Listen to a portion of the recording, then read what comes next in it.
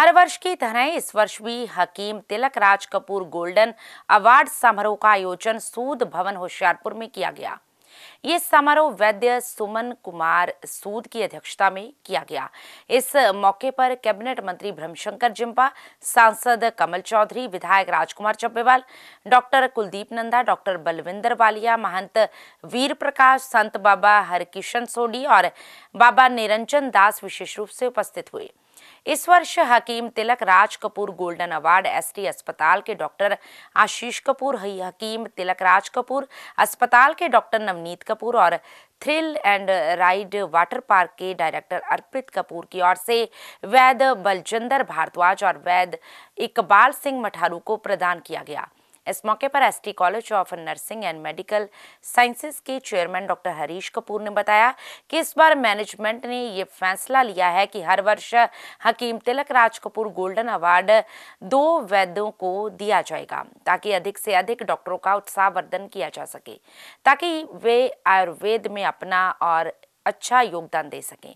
इस संबंधी और जानकारी देते हुए एसटी अस्पताल के डॉक्टर आशीष कपूर ने बताया कि हकीम तिलक राज कपूर अस्पताल सदियों से आयुर्वेद के ज़रिए लोगों की सेवा करता आ रहा है और इस अवार्ड को शुरू करने का उद्देश्य ये है कि आयुर्वेद का पूरी दुनिया में प्रसार किया जाए।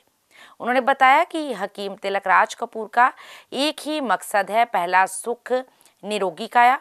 इसलिए हकीम तिलक राज कपूर के सुपुत्र एवं ST college of nursing and medical sciences के चेयरमैन डॉक्टर हरीश कपूर ने इस अवार्ड की शुरुआत की।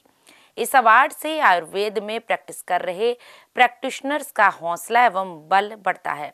जिससे उनमें आयुर्वेद को दुनिया में के कोने कोने तक लेकर जाने का जज्बा पैदा होता है जालंधर से हलचल के लिए कैमरामैन सुरेंद्र बाबा की रिपोर्ट ਜੈ ਧਨਵੰਤਰੀ ਜੈ ਆਯੁਰਵੇਦ ਮੈਂ ਵੈਦ ਰਣਜੀਤ ਸਿੰਘ ਫਾਊਂਡਰ ਤੇ ਸੀਈਓ ਨੈਕਸ਼ਨ ਉਮੀਦ ਇੰਡੀਆ ਪ੍ਰਾਈਵੇਟ ਲਿਮਟਿਡ ਅੱਜ ਜੋ ਧਨਵੰਤਰੀ ਜੀ ਦਾ ਜਨਮ ਦਿਨ ਮਨਾਇਆ ਜਾ ਰਿਹਾ ਉਹਦੇ ਵਿੱਚ ਬਹੁਤ ਸਾਰੀਆਂ ਕੰਪਨੀਆਂ ਜਿਹੜੀਆਂ ਹੈਗੀਆਂ ਉਹਨਾਂ ਨੇ ਅੱਜ ਇੱਥੇ ਆਪਣੇ ਪ੍ਰੋਡਕਟ ਜਿਹੜੇ ਹੈਗੇ ਆ ਉਹ ਲਾਏ ਆ ਔਰ ਸਾਰੇ ਪੰਜਾਬ ਨਹੀਂ, ਇੰਡੀਆ ਦੇ ਵੈਦ ਇੱਥੇ ਆਏ ਹੋਏ ਆ, ਜਿਹੜੇ ਸਾਨੂੰ ਹਰ ਜੜੀ ਬੂਟੀ ਦੇ ਬਾਰੇ ਜਾਣਕਾਰੀ ਦੇ ਰਹੇ ਆ ਕਿ ਕਿਵੇਂ ਤੁਹਾਡੀ ਰਸੋਈ ਦੇ ਵਿੱਚ ਹੀ ਸਿਰ, ਪੈਰ ਦੇ ਨੋਹ ਤੋਂ ਲੈ ਕੇ ਸਿਰ ਦੇ ਵਾਲ ਤੱਕ ਹਰ ਬਿਮਾਰੀ ਦਾ ਇਲਾਜ ਹੈਗਾ ਆ। ਉਹ ਜਾਣਕਾਰੀ ਜਿਹੜੀ ਹੈਗੀ ਆ, ਉਹ ਤੁਹਾਡੇ ਤੱਕ ਪਹੁੰਚਾਉਣ ਦੇ ਵਾਸਤੇ ਸਭ ਤੋਂ ਵਧੀਆ ਮਾਧਿਅਮ ਆ ਸਾਡਾ ਸੋਸ਼ਲ ਮੀਡੀਆ ਤੇ ਇਸ ਚੈਨਲ ਦੇ ਥਰੂ ਤੁਹਾਡੇ ਤੱਕ ਇਹ ਜਾਣਕਾਰੀ ਜਿਹੜੀ ਆ, ਉਹ ਪਹੁੰਚ ਰਹੀ ਆ ਔਰ ਕੋਈ ਵਿਦਵਾਨ ਲਿਖਦਾ ਆ, ਪਹਿਲਾ ਸੁਖ ਨਰੋਗੀ ਕਾਇਆ, ਦੂਜਾ ਘਰ ਵਿੱਚ ਹੋਵੇ ਮਾਇਆ, ਤੀਜਾ ਸੁਖ ਸੁਲੱਖਣੀ ਨਾਰੀ, ਚੌਥਾ ਹੋਵੇ ਪੁੱਤ ਆਗਿਆਕਾਰੀ। ਦੁਨੀਆ ਸਾਰੀ ਇਹਨਾਂ ਚਾਰਾਂ ਸੁੱਖਾਂ ਦੇ ਪਿੱਛੇ ਦੌੜੀ ਆ, ਪਰ ਪਹਿਲਾ ਸੁੱਖ ਕਿਹੜਾ ਆ? ਨਰੋਗੀ ਕਾਇਆ। ਨਰੋਗੀ ਕਾਇਆ ਜਿਹੜੀ ਆ, ਉਹ ਤੁਸੀਂ ਰੱਖ ਸਕਦੇ ਹੋ, ਸਾਰਾ ਕੁਝ ਤੁਹਾਡੀ ਰਸੋਈ ਦੇ ਅੰਦਰ ਹੀ ਹੈਗਾ ਆ। ਪਰ ਕਾਰਨ ਕੀ ਆ, ਸਾਨੂੰ ਉਹਦੇ ਬਾਰੇ ਜਾਣਕਾਰੀ ਨਹੀਂ। ਔਰ ਦੂਸਰੀ ਗੱਲ ਕੀ ਆ ਕਿ ਜਿਹੜਾ ਆਯੁਰਵੈਦ ਆ, ਸਾਨੂੰ ਲੱਗਦਾ ਵੀ ਸਲੋ ਪ੍ਰੋਸੈਸ ਆ। ਨਹੀਂ, ਇਹਦਾ ਇਤਿਹਾਸ ਹਜ਼ਾਰਾਂ ਸਾਲ ਪੁਰਾਣਾ ਆ। ਜੈ ਆਯੁਰਵੈਦਿਕਾ ਜੈ ਧਨਵੰਤਰੀ ਮੈਂ ਵੈਦ ਬਲਜਿੰਦਰ ਰਾਮ, ਹਕੀਮ ਤਿਲਕ ਅਵਾਰਡ ਫੈਮਿਲੀ ਦਾ ਦਿਲੋਂ ਧੰਨਵਾਦ ਕਰਦਾ ਹਾਂ ਕਿ ਜਿਨ੍ਹਾਂ ਨੇ ਕਿ ਮੈਨੂੰ 골ਡਨ ਅਵਾਰਡ ਲਈ ਨਿਯੁਕਤ ਕੀਤਾ ਗਿਆ ਹੈ ਤੇ ਇਹਨਾਂ ਦਾ ਸ਼ੁਕਰਾਨਾ ਕਰਦਾ ਹਾਂ। ਆਯੁਰਵੈਦਿਕ ਦੇ ਪ੍ਰਚਾਰ ਲਈ ਹਕੀਮ ਤਿਲਕ ਫੈਮਿਲੀ ਦਿਨ ਰਾਤ ਜੋ ਕਿ ਉਪਰਾਲਾ ਕਰ ਰਹੀ ਹੈ ਉਸ ਲਈ ਬਹੁਤ ਬਹੁਤ ਧੰਨਵਾਦ। ਅਸੀਂ ਇਸ ਸੰਸਥਾ ਦੇ ਨਾਲ, ਉਹਨਾਂ ਨਾਲ ਜੁੜ ਕੇ ਇਸ ਚੀਜ਼ ਨੂੰ ਅੱਗੇ ਹੋਰ ਤਰੱਕੀਆਂ ਦੇ ਲੈ ਕੇ ਜਾਵਾਂਗੇ ਤੇ ਇਸ ਅਵਾਰਡ ਲਈ ਇਹਨਾਂ ਦੀ ਫੈਮਿਲੀ ਦਾ ਔਰ ਕਪੂਰ ਸਰ ਦਾ ਦਿਲੋਂ ਥੈਂਕਸ ਔਰ ਦਿਲੋਂ ਧੰਨਵਾਦ ਕਰ ਰਹੇ ਹਾਂ। ਜੈ ਧਨਵੰਤਰੀ ਜੈ ਆਯੁਰਵੇਦ। ਮੈਂ ਤਿਲਕਰਾਜ ਫੈਮਿਲੀ ਦਾ ਬਹੁਤ ਧੰਨਵਾਦ ਕਰਦਾ ਹਾਂ ਜਿਨ੍ਹਾਂ ਨੇ ਮੈਨੂੰ ਇਹ ਸਨਮਾਨਿਤ ਕੀਤਾ ਹੈ। ਅਸੀਂ ਆਯੁਰਵੈਦਿਕ ਦਵਾਈ ਦਾ ਪ੍ਰਚਾਰ ਕਰਦੇ ਹਾਂ। ਆਯੁਰਵੈਦ ਦੇ ਨਾਲ ਬਹੁਤ ਸਾ- ਸਾ- ਸਾਨੂੰ ਸਮਾਂ ਮਿਲਦਾ ਹੈ ਵਧੀਆ ਤੇ ਆਰਾਮ ਆਉਂਦਾ ਹੈ।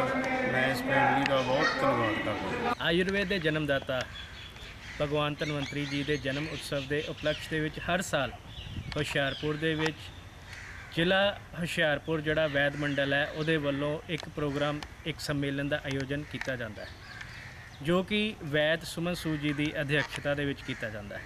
ਔਰ ਇਸ ਸੰਮੇਲਨ ਦਾ ਸਭ ਤੋਂ ਜਿਹੜਾ ਜ਼ਰੂਰੀ ਔਰ ਸਭ ਤੋਂ ਜਿਹੜਾ ਇੰਪੋਰਟੈਂਟ ਪਾਰਟ ਹੁੰਦਾ ਵੈ, ਉਹ ਸਾਡੇ ਗ੍ਰੈਂਡਫਾਦਰ ਦੇ ਨਾਮ ਤੋਂ ਦਿੱਤਾ ਜਾਣ ਵਾਲਾ ਅਵਾਰਡ ਜਿਹਨੂੰ ਆਪਾਂ ਹਕੀਮ ਤਿਲਕ ਰਾਜ ਕਪੂਰ 골ਡਨ ਅਵਾਰਡ ਦੇ ਨਾਮ ਤੇ ਕਾਫੀ ਲਗਭਗ 7-8 ਸਾਲ ਤੋਂ ਦਿੰਦੇ ਆ ਰਹੇ ਆ। ਉਹ ਹੁੰਦਾ ਵੈ ਜੋ ਇਸ ਪ੍ਰੋਗਰਾਮ ਦੀ ਮੇਨ ਅਟਰੈਕਸ਼ਨ ਹੁੰਦਾ ਹੈ।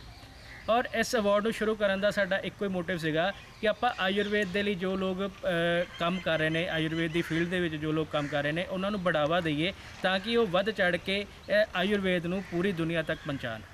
ਅੱਜ ਆਪਾਂ ਦੇਖ ਰਹੇ ਹਾਂ ਕਿ ਆਯੁਰਵੇਦ ਪੂਰੀ ਦੁਨੀਆ ਦੇ ਵਿੱਚ ਬਹੁਤ ਤੇਜ਼ੀ ਦੇ ਨਾਲ ਫੈਲ ਰਿਹਾ ਹੈ ਲੋਕਾਂ ਦਾ ਮੁੜ ਤੋਂ ਵਿਸ਼ਵਾਸ ਜਿਹੜਾ ਆਯੁਰਵੇਦ ਦੇ ਵਿੱਚ ਦੁਬਾਰਾ ਪੈਦਾ ਹੋ ਰਿਹਾ ਹੈ। ਔਰ ਇਸ ਸਾਲ ਆਪਾਂ ਇੱਕ ਹੋਰ ਜਿਹੜਾ ਸਾਡੀ ਟੀਮ ਮੈਨੇਜਮੈਂਟ ਨੇ ਉਪਰਾਲਾ ਕੀਤਾ, ਉਹ ਇਹ ਕੀਤਾ ਕਿ ਅੱਗੇ ਆਪਾਂ ਹਰ ਸਾਲ ਇੱਕ ਅਵਾਰਡ ਦੇਈਦਾ ਸੀਗਾ। ਇਸ ਸਾਲ ਆਪਾਂ ਜਿਹੜਾ ਉਹ ਦੋ ਅਵਾਰਡ ਕਰਤੇ, ਕਿਉਂਕਿ ਆਯੁਰਵੇਦ ਦੀ ਫੀਲਡ ਦੇ ਵਿੱਚ ਬਹੁਤ ਲੋਕ ਨੇ ਜੋ ਹਰ ਸਾਲ ਬੜੀ ਬੇਸਬਰੀ ਦੇ ਨਾਲ ਇਸ ਦਿਨ ਦਾ ਇੰਤਜ਼ਾਰ ਕਰਦੇ ਨੇ।